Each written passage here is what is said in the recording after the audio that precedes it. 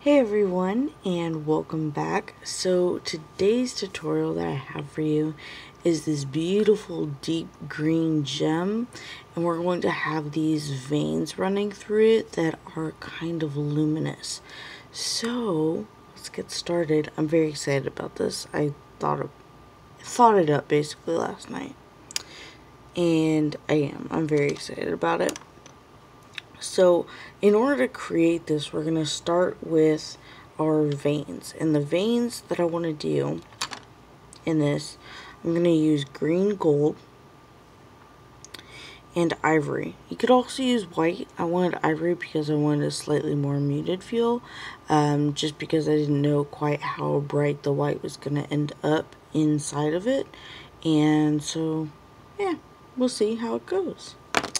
And then for the greens that I have,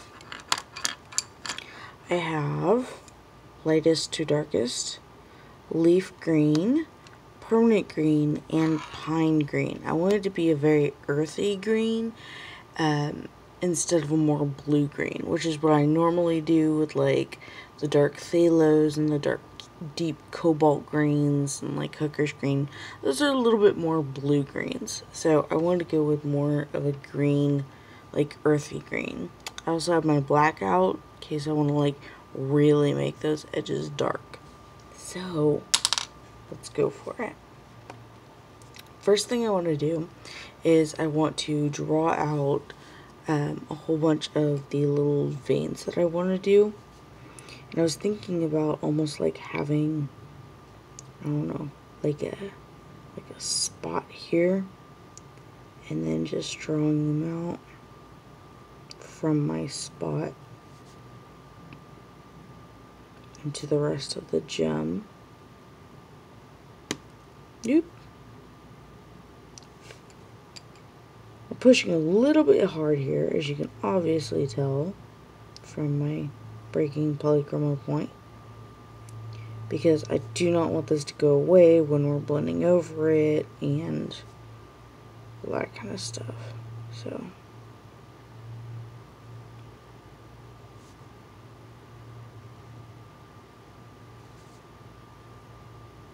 And always your patterns of cracks can go all kinds of ways.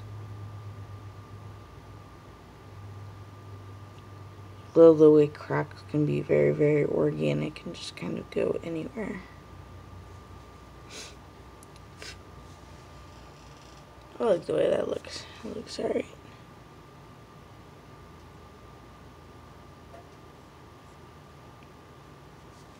Now what I want to do is I want to go over it and kind of frame it almost with the ivory.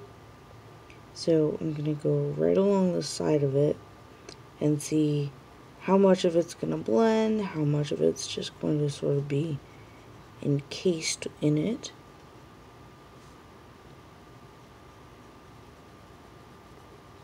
And again, I'm using decent amount of pressure. Not a, like a ton, because I'm not obviously snapping this. But it's decent. I do want this to be on there. I don't want it to um, blend out into the other polys like super easily which is what I would normally want when I'm doing these because I would want kind of a softer edge. But I don't want that softer edge to just blend away into the other colors especially something as vibrant as green. So just going along the edge here it is kind of messy. I don't know if you can tell that or not, but it is. I'm not being super precise, even though I could be. We want the effect.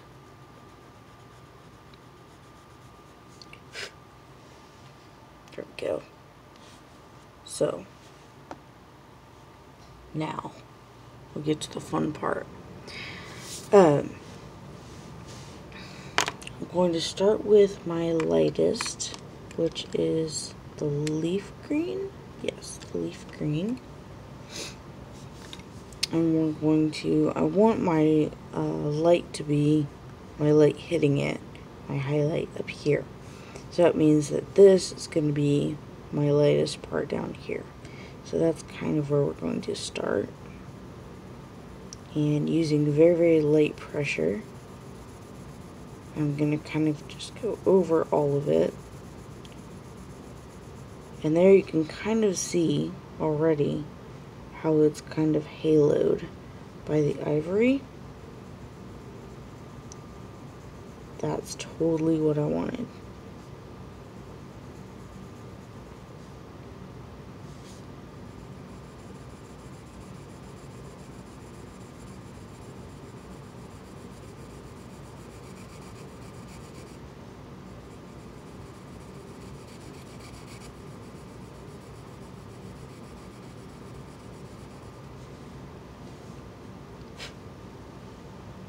And I just want that like right down in the bottom. And then I'm going to move to my permanent green. Remember your edges are always very very very important. I'm going to get this down at the bottom as well as go all the way around with it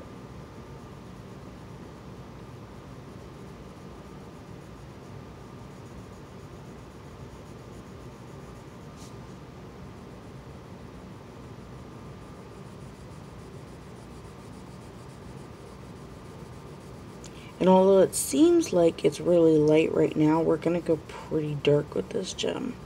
So, kind of excited about that.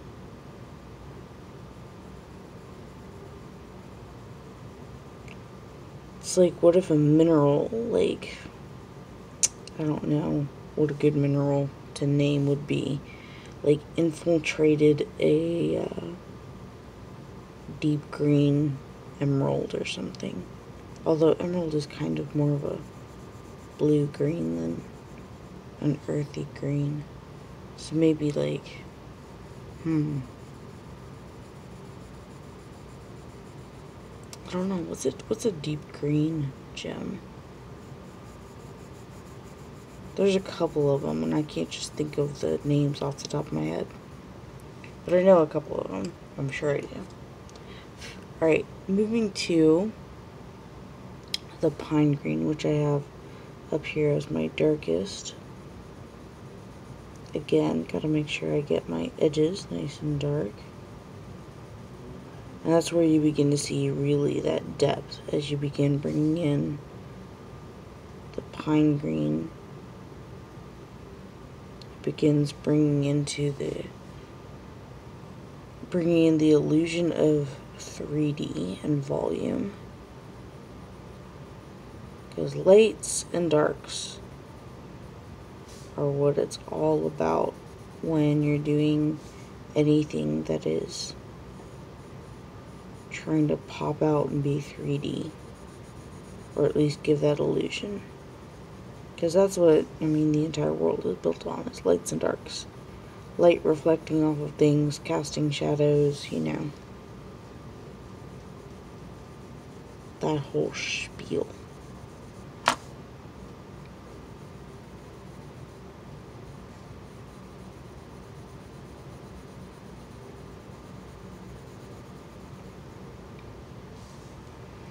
Okay, so the general feeling that I'm getting is that I kind of want to smooth this out as well as work over my veins again before I go too far.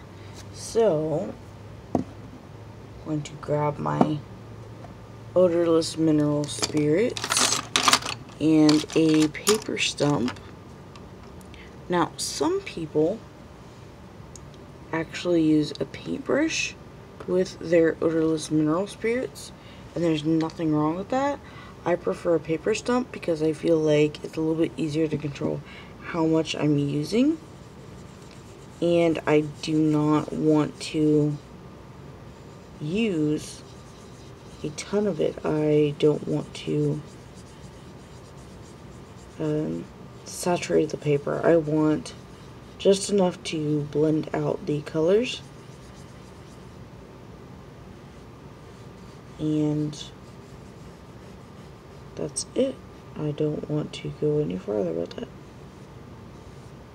I also want it to dry really quickly, so a little bit less is good. So it'll dry faster. Okay, so I'm gonna go back in with my green gold.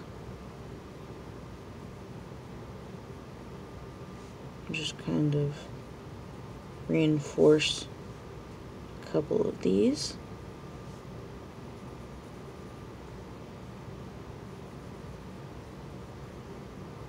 especially up here where it's getting a little bit dark. And same with the ivory. Just want to come in here.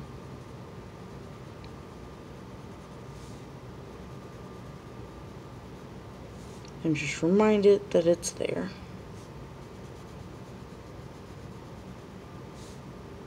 As you can see, it's not changing a whole bunch, but it is a little bit. And that's all I really want is to make sure that it doesn't just completely fade away. Because we do want it to look like it's at the bottom of the gem and not like sitting right on top. We want it to look like it's encased in the glass of the gem or whatever. So, alright, going back to the pine green, because I want to continue building up the shadow.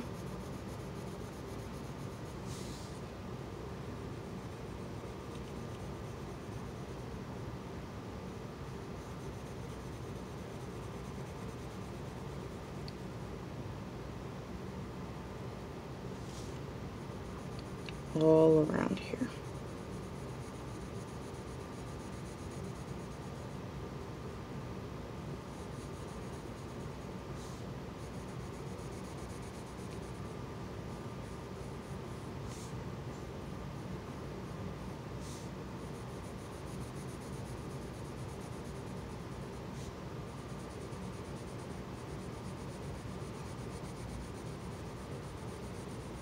And I have uh, had some people tell me they think that I push really hard. I usually don't.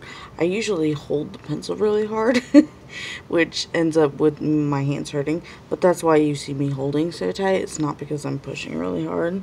It's just because I'm holding the pencil really tightly.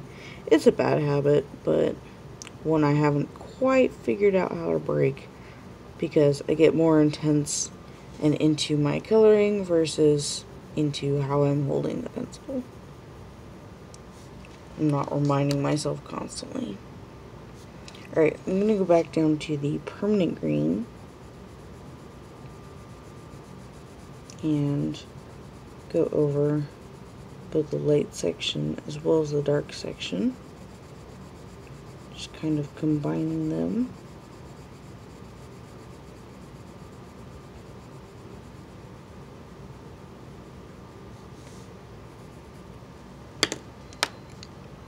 And then using the leaf green.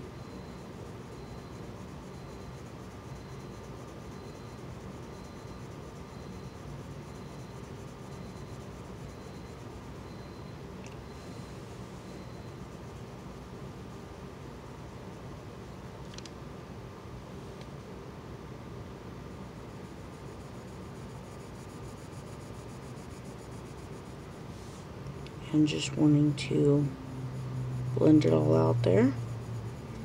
And then right there, I think, just grab the ivory and make sure it stays nice and light in this area. And ivory being as light as it is, is also great for blending in general. So, we go.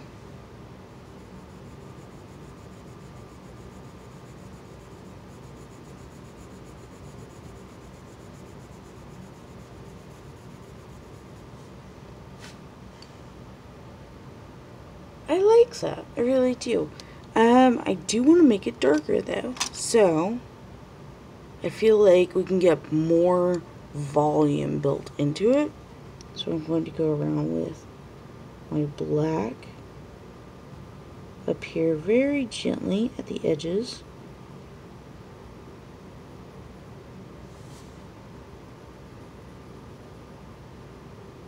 I just want to push it that one little bit more. As you can see, I use my black quite often. Um, I think I find I just love contrast, high contrast so much.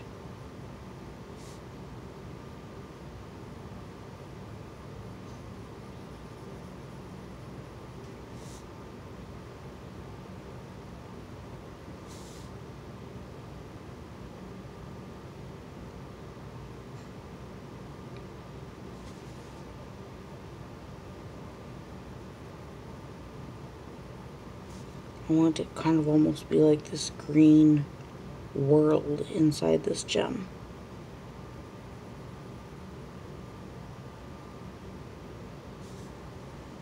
And then I'm just going to take the pine green and go back over that. This is one of the reasons I just love polychromos, is because you can just layer and layer and layer and layer and you just don't have an issue and it's wonderful.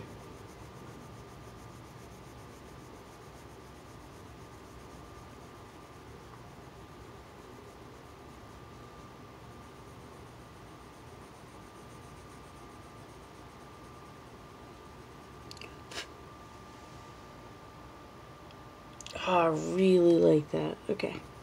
So.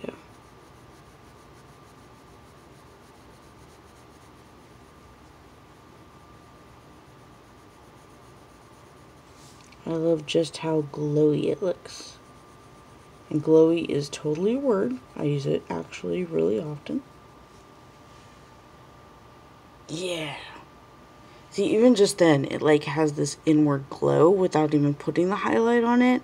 And that's fantastic. I always want that look.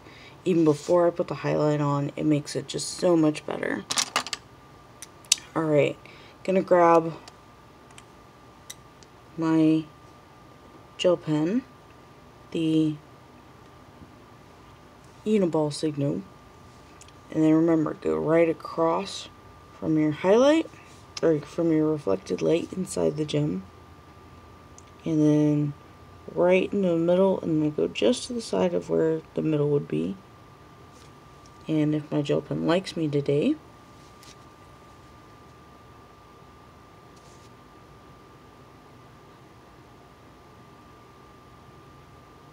and follow the curve.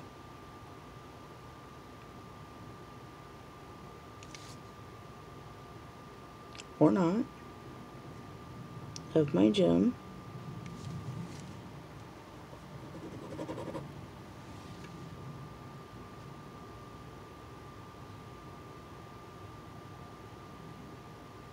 She is having issues today. Serious ones, apparently.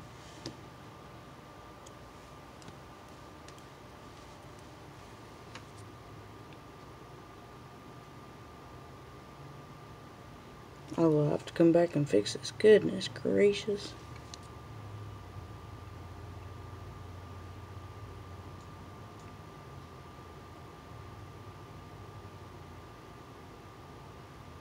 Usually it doesn't take this much to try and get a good highlight, but I guess I'll need a new one soon. I don't actually go through them that often, but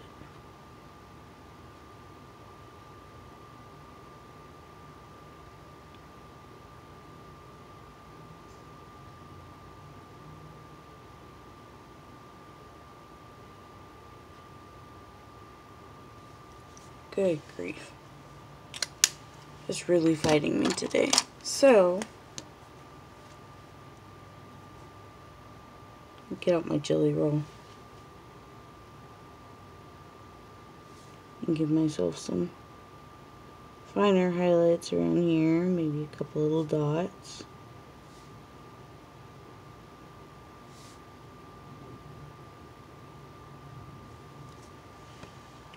And I usually go in and clean the edges of my highlights so that they are nice and sharp. But I'm going to have to fix that highlight anyway. and go over it with, I guess, my Gelly Roll. But there we have it. I'm going to fix my highlight. And I hope you go make one because this is just gorgeous and I love it. And now I need to do the rest of it.